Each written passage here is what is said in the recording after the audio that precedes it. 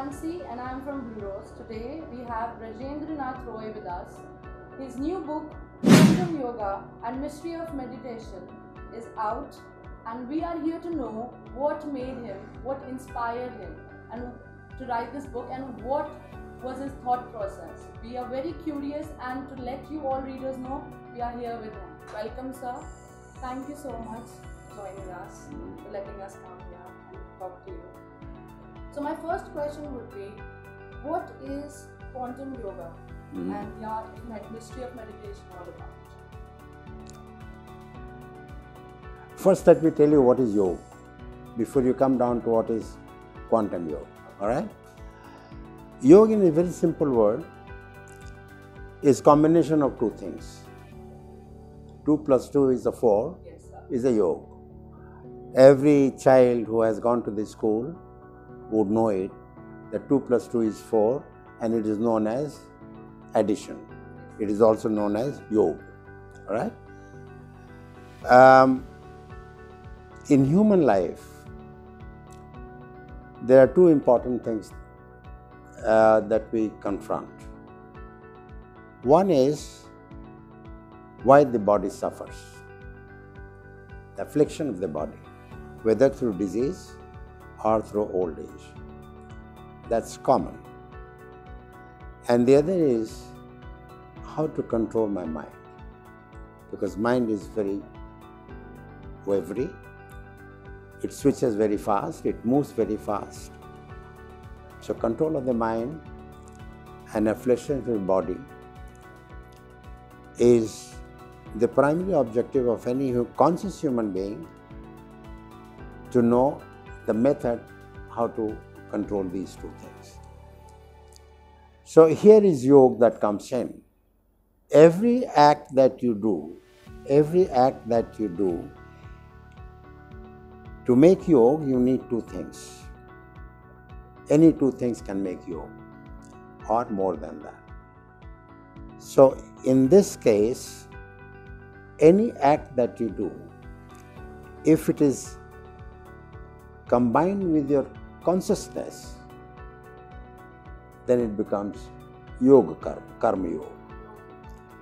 And if the same act is without knowledge of your consciousness, then it is just karma. So the emphasis in yoga is anything, any action, any thought process that you entertain, it must be combined with the consciousness. Right? Now, the question is why quantum? You see, quantum is a word we have borrowed from the word of physics. In the world of physics, there is a very famous combination quantum mechanics. And quantum mechanics primarily deals with the subatomic constituents that is believed to be the important ingredient of the whole universe. Everything that is contained in this universe, which can be manifested or not manifested, is based on the theory of quantum mechanics, which precisely in one word says that everything in this world is nothing but energy or its manifestation. Right? And yoga, in its basic principle of can you continue? Yes. Yoga, in its precise principle of understanding, has eight stages yam, niyam, asan, pranayam, pratyahar, dharana, dhyan, and samadhi. These are the eight limbs as propounded by the great sage Patanjali. Now, in this, the most important is the pranayam. Pranayam is the link of the preceding three and the following four. Right? Pranayam is nothing but a art and science of acquiring cosmic energy in your body. The constitution of the body is such that every cell every subatomic particle, every bacteria, it needs energy to survive. The moment you are short of energy, you will have some abnormality in the body. Either the system fails, or some component of the system fails, or you have tingling in the hand, or tingling of the leg and feet. So, energy is the most important component as far as the yoga is concerned. It, it combines the physical world and the leads you to the spiritual world. So, I wanted to fuse the word of science with the word of yoga, and I called it quantum yoga. Um, the next question, of course, follows is why mystery of meditation? Most of you uh, have come across that more or less today there is a mushrooming of yoga centers. And at the same time, everywhere on the logo that you see, Yoga Center, there is a word meditation,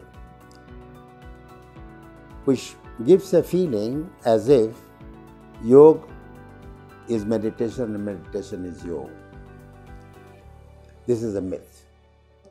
Because meditation is the ultimate stage of yoga. Ultimate. It's a very tedious process.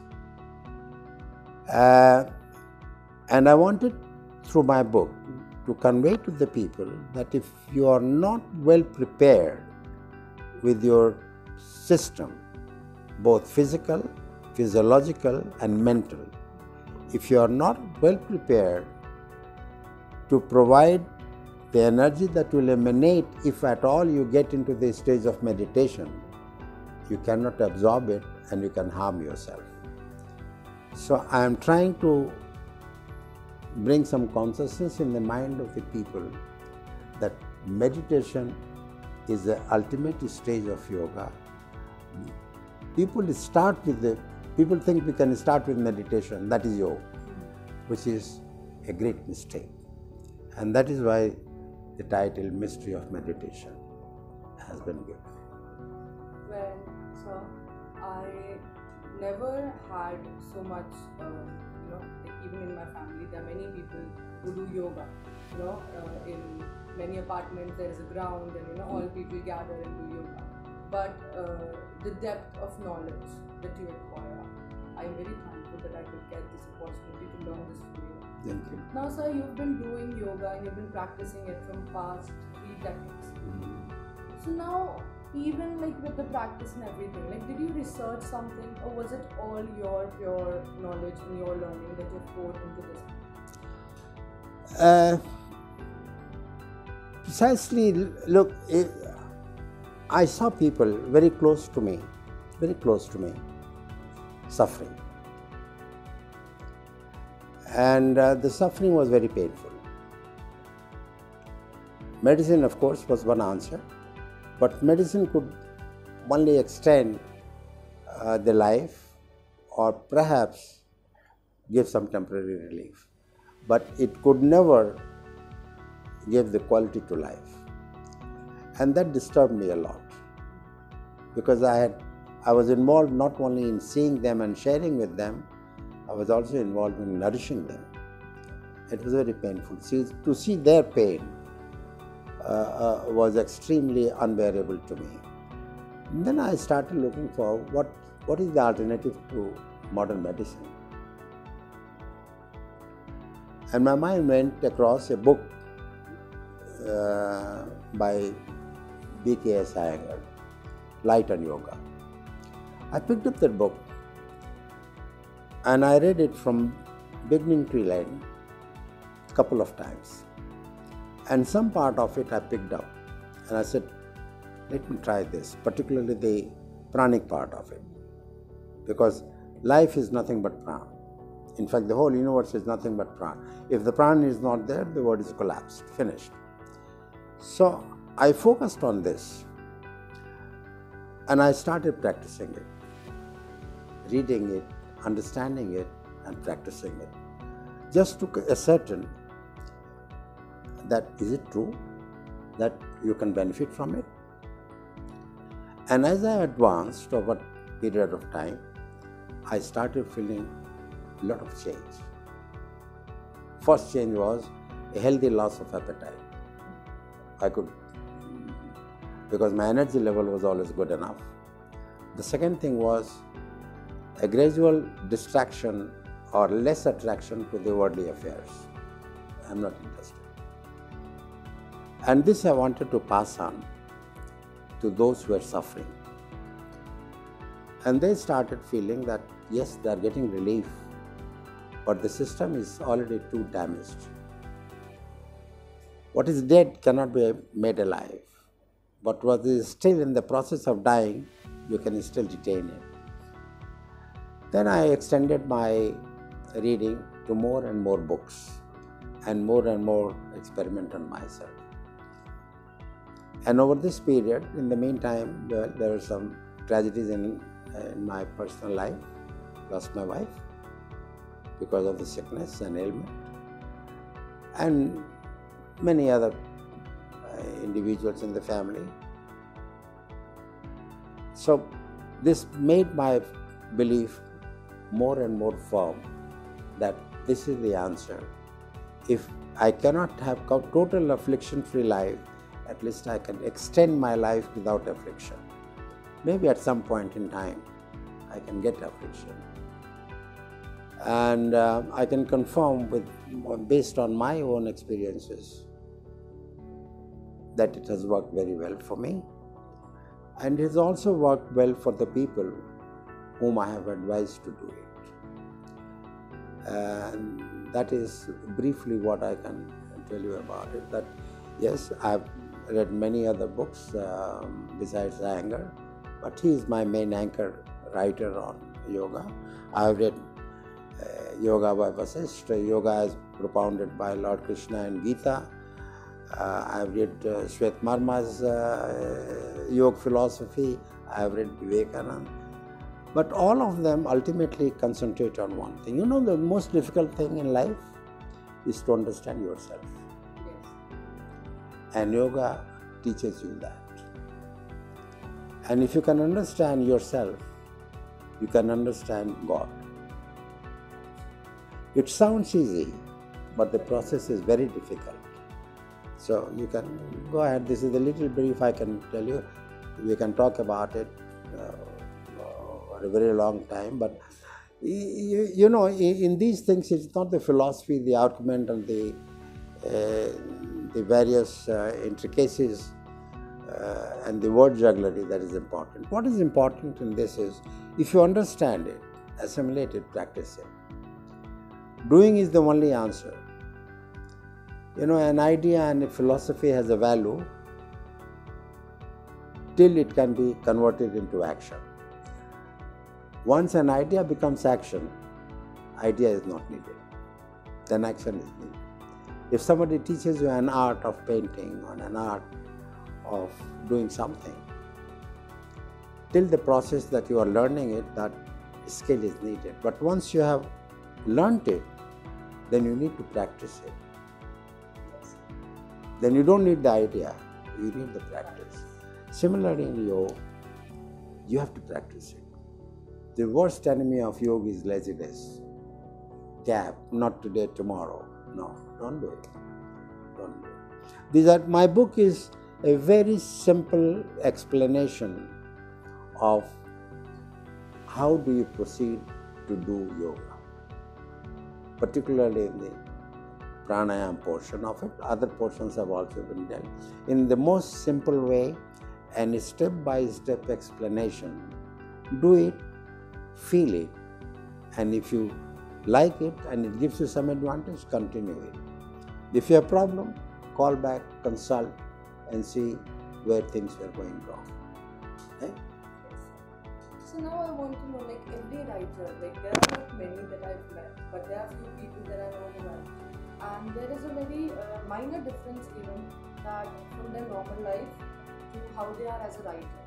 So, what is the difference between Brajendra Nath Roy as a normal person and difference and with Brajendranath Roy as a writer? Is there any difference that you see that you, um, you know, understand about yourself? Uh, that's very interesting question, my dear. Uh, look, B.N. Roy as a human being is an average human being, full of vices, full of arrogance, full of ego, full of I, I did this. But when I think B.N. Roy as a writer, when I sit down to write, uh, I start self doubting myself. That it is, is it so little that I know? I become more humble. I more become more dedicated. I feel the world knows more than me. So I think I'll prefer to lead a life of. Roy as a writer than B.N. Roy as a normal human being. Following up to this question, I would ask that every writer has a different atmosphere of writing. Some like writing in cafes, some, you know, isolate themselves in a room, some like writing in nature. So, what is your atmosphere of writing? Where do you like writing? Well, this place can be any. Uh, place doesn't bother me. Uh, but in two simple words, I'll say the solitary silence. That's all I'd say. So, a lot of new writers today, you know, they often suffer from the question that why do they write? And if they get the answer like why do they write, then how to write Then if they know how to write it, then what to write? So, what is your tips and tricks for the new writers that they are coming on board? Like letting them know that this can help them write more proficiently. I'll only share my opinion, but uh, there is no uniform answer for these things, I believe. One, you must have a passion passion for reading uh, on whatever subject that you like, but you must have first a passion for reading so that you acquire various thought processes in you. Uh, and you see what really suits you, what is acceptable to you, and from there on you can expand your own if you have anything of your own. So first thing is the passion you must have about reading on the subject that you like to write. And um, writing primarily is for self pleasure self self satisfaction so those who write primarily to please others then they are not writers then they are, yeah, they are social people. They are writing for others, but writing primarily should be done for yourself. There is, you know, I remember uh, it is a very good question you said, you know, Manas by Tulsidas. There was a lot of controversy on his book, and uh, because the established authorities and the pundits of that time, they were not very comfortable that this book is getting so much of prominence. So they wanted to play all kind of tricks to downplay it. And uh, in one instance, Tulsi Das writes in his initial book, Swantah Sukhaya Tulsi Raghunatha Gatha Bhasha Nibadha Mati Manjula Mahatma. Please don't bother about this book. I have not written for anybody else. It is for Swantah Sukhaya. It's for my own pleasure that I have written this book. Swanta Sukhaya Tulsi, Raghunatha Gatha, Bhasha Nibadha Mati So a writer must write for his happiness, for, for his pleasure. Unless he is satisfied himself, he cannot satisfy the others. But so as a writer, don't you think we can never satisfy No, that is why it's a progressive thing. That is why every every moment you are learning something new well within. Well within you, you see yourself. Most of us have a weakness of looking outside. And we never look. I want him to be benevolent. I am I want him to be charitable. I want him to sacrifice life, but not my own. There is a very good couplet I can tell you. अपने अंदर झाँक के पाले सुरागे ज़िंदगी अपने अंदर झाँक के पाले सुरागे ज़िंदगी अपने अंदर झांको तो सही बहुत चीज़ें मिलेंगी The whole cosmos is within you. You don't want to understand yourself, but you want to understand everybody else. So that's what I'll say about it. So now, usually writers, like even I write too. So writers usually go through a thing called writer's block, where they cannot write anything, where they just lose inspiration. Have you gone through this particular block while writing? Yes, I must confess, yes. But what has sustained me is the patience and perseverance. Because uh, otherwise, you can't write a book. When you have an interactive agency to accomplish your mission, because it's just not me that can write the book. I can only think and uh, write, but to publish, to edit, to uh, do many other things that is, eh, you have to involve more people. And everybody cannot give the same priority as you give because for you it is a product for them it is a work. And there's a lot of difference because basically it is a commitment that you need. A product has a commitment. If i make a product i have a commitment. But one who is taking it as a work for him it is just like any other work so if he has time he will do it if he doesn't have time he will not do it so I think patience and perseverance uh, took me through. It took long, but it's okay. So nowadays, a lot of youngsters go through problems like having anxiety. And they suffer from a lot of psychological issues. Usually, when you know they share about this with their parents or family, they, they just say meditation for people that. So I don't think so. That is the answer. No, it's absolutely wrong. That's why I said Mystery of Meditation is the title. People have wrongly understood. Meditation, you see, focusing, uh, let me explain it in a very simple way. To focus on a moving thing is difficult. For a short time, you can focus. For example, if there's a clock moving in a pendulum way, you can focus on it. You can tell a child, focus on it going up and down or going sideways. You can focus on it. You are playing um, football and you say focus on the ball, right? That's dynamic focus. Uh, dynamic focus is easier uh, because your mind is moving, mind is always moving. So when it is in motion, the body is motion and then the mind is more focused. It can focus. But when you are still, then control the mind and focus on anything is very difficult. Because body can be still but mind is always always it's running. The more you want to hold it the more it gets away from you. So uh, meditation so we start teaching how to focus then how to concentrate.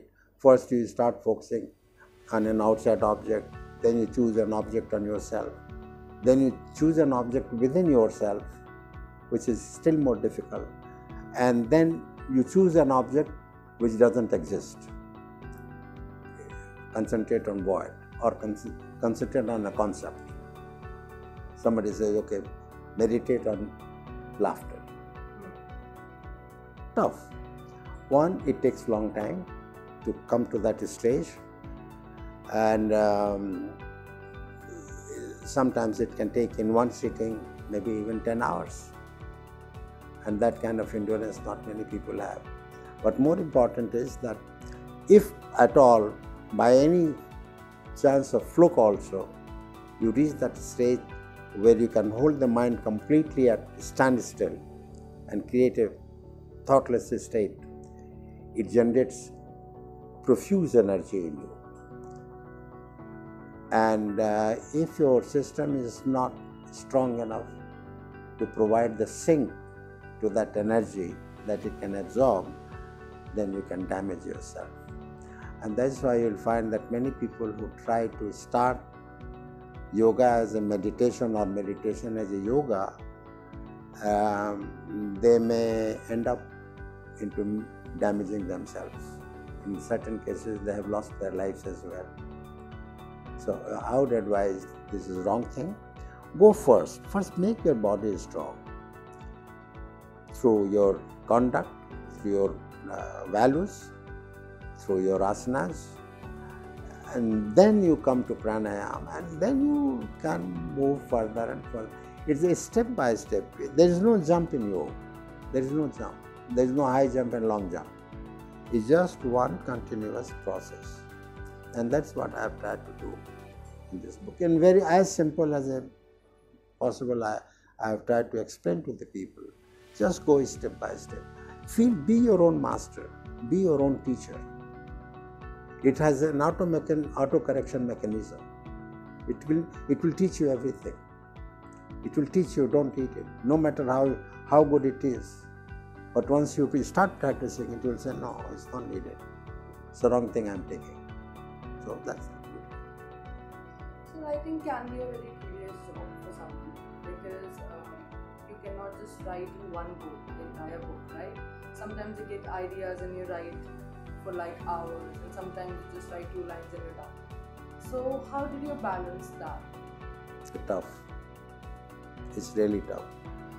Yeah, I have done so many re- writing and rewriting and rewriting and rewriting, and sometimes you get fed up. Well, so, well, I'd say, yeah, it's a tough job, particularly to write something that can be acceptable to the people, not just to yourself. Um, in, you know, in you, collective validation is not possible because yoga is very subjective. Only those who do it know the benefit of it. Uh, therefore, collective validation is just not possible in yoga in the ultimate stage of that.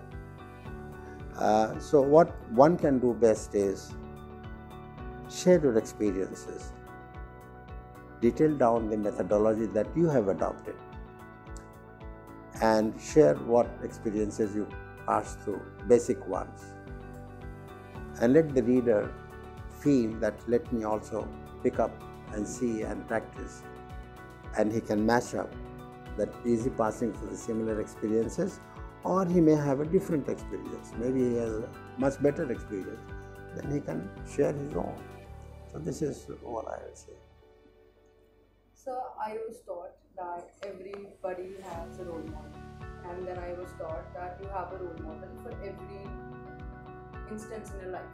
For like uh, living a normal life, you have a role model. For being a writer, you have a role model.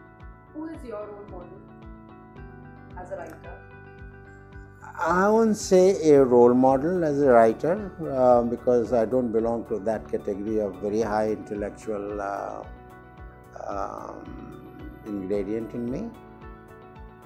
Uh, but I have read um quite a number of books on, besides my own subjects uh, of science and engineering and uh, general behavioral pattern uh, of economics. Um, I've read a lot of books on philosophy, particularly Eastern philosophy, and uh, Western philosophy is very little to contribute, to be honest. Most of it is borrowed and interpreted. Um, but I've read a lot of books on uh, science, like Bertrand Russell, um, Fritz uh, Tao of Physics is one of the best books that I've seen in the modern times. Uh, Stephen Hawkins, uh, I would uh, say in-depth books. And on yoga, um, I'm indebted to B.K.S. Iyengar. He, I have liked the way he has explained in depth the philosophy and practice of yoga. So that's all I can say. But I don't think I have a role model. I I don't have a role model. I wish I could. Uh, if you want, ask me to, do I have any role model? I won't answer that my father or mother because I lost them when I was very young. But in political scenario, I would say my role model will be Gandhi. In political, socio-political. I, Also, as a reader, like I am a reader myself, and if somebody asks what is your favorite? It's a very difficult question for me to answer. Can you answer this? Uh, not really, not really. It's uh, I have never read anything from uh, from that angle, but I would love that everybody read Bhagavad Gita not just as a book pronounced by the so-called assumed Hinduism, Hindu philosophy that it is a God Himself that has said it, irrespective of who has said it, irrespective of which religion you belong to, which faith you follow, read Gita. Because it's, you know, that Gita is 700 slokas, right? And most of them are two liners. On today's, the kind of book that you have in your hand, all this can be contained in 35 pages, right? 35 pages. But there are commentaries which run into thousands of pages, which I believe, to my to me, it is diluting your uh, Gita. Because if you cannot understand Gita the way it has been spoken, then you cannot understand Gita through volume of explanation then it is then it is not a word of God. Either we are fooling ourselves or we are not understanding Gita at all. A good book, a good word can be understood in one book. And Gita is very simple. Everything is so simple and so clear. There is there is no doubt about it when he says, Sarvadharam Paritajya, Mam Ekam Sharanam Braja. When he has taught everything, Arjuna was still bewildered. He said, But which one should I follow? You are talking of Karma Yoga, Jnana Yoga, Sankhya Yoga, Bhakti Yoga. Which one you follow? He said, None.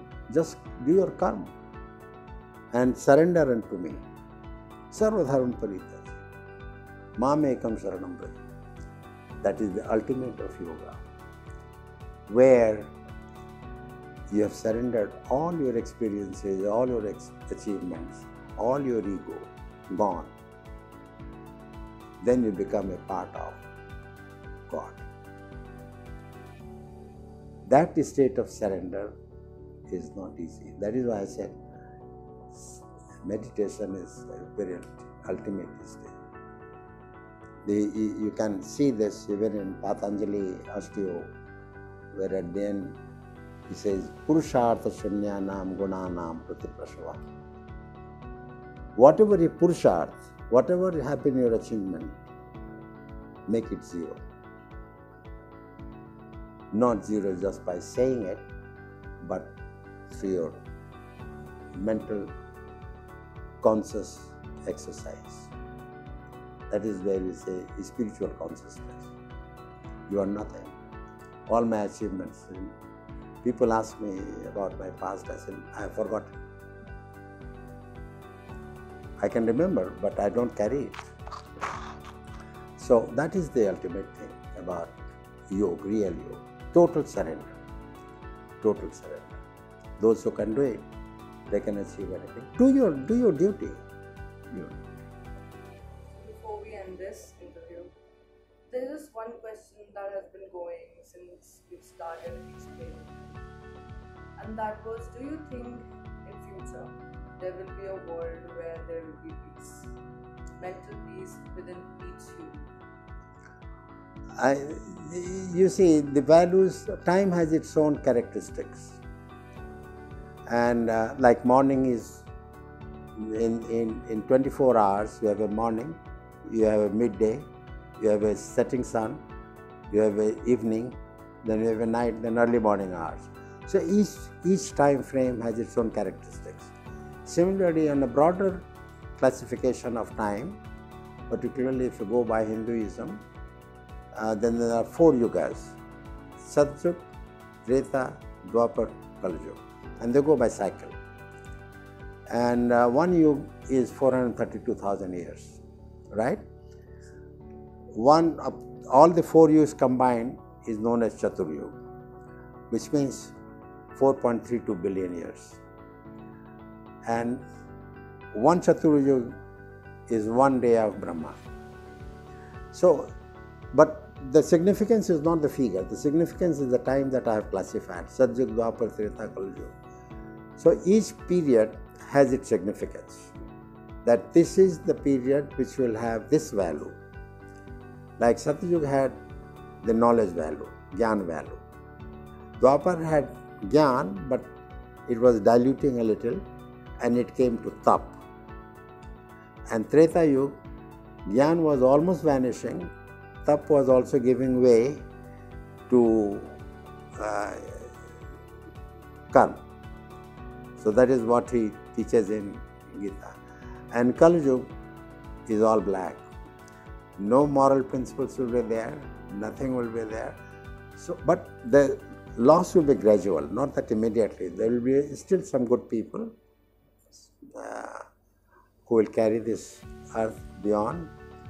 But gradually you will find there will be more and more um, uh, violence in thought process. Money will play a much important role than anything else. Uh, but then it will reverse. It will reverse. But when I cannot tell you. Every every violence must end in peace. Every violence. Do you? It is surprising. I have mentioned in my book that the most precious book like Gita, the pronunciation of it was made in a battlefield. A teaching and preaching on peace and prosperity was done by convincing somebody that you fight a war and the most fierce war. So, war sometimes becomes a necessity, it is not an option. So, not, nobody should be bothered about it. Uh, if it has to happen, it will happen. If it is not to happen, it will never happen. But after every war, there will be peace. Okay? Thank you so much, sir, for giving us such small time from your entire day and talking to you has made me realize a lot of things. Thank Like, Thank I understood a lot of things. And to everyone who's watching this, this book Quantum Yoga and Mystery of Meditation is out on Flipkart, Amazon, and DRB stores. I would suggest you to buy it because I would like you to watch this, understand this, what he meant by everything that he said, and get influenced in such a positive way and something. Thank you so much, everybody, for watching. I hope you have a good day.